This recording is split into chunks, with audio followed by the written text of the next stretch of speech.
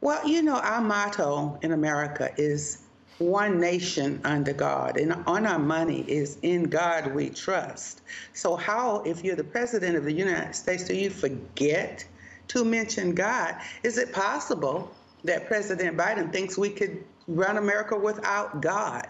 There are many who still believe in God here in America. We notice that either he intentionally or he intentionally left out God or he forgot God. But either one is a very serious situation to have a president, you know, operate from that position. It seems like our nation is turning away from our religious values. Well, the whole nation really is not turning away from religious values.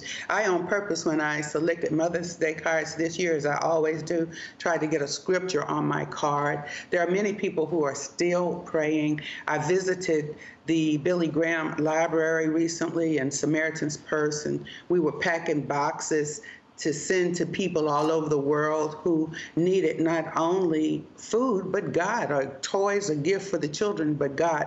America has not forgotten God. No, we have not.